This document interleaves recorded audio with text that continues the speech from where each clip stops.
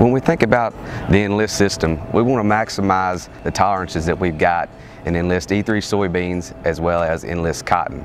So when I think about program approaches, Weed Science 101 tells me program approaches are where we start from the ground up. We don't want to change that mindset. We want to utilize those particular residual herbicides as well as the ability we've got to utilize other tolerances that you'll find in E3 soybeans as well as Enlist cotton, being that of 2,4-D choline in the Enlist products, glufosinate in the Liberty compound and as well as glyphosate. Now, what does this do and what makes it unique in the Enlist system is the fact that we can utilize products like Liberty herbicide as well as glyphosate, those products that can't be used in a dicamba system because of some acidification.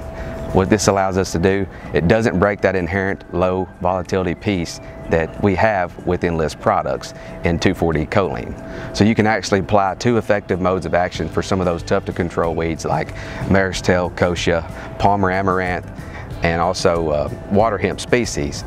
But being a good steward of those products is key and utilizing more multiple modes of action is also very beneficial from a weed resistance management standpoint. So when making applications of Enlist One and Liberty, we recommend a quart and a quart. And we also want an addition of ammonium sulfate.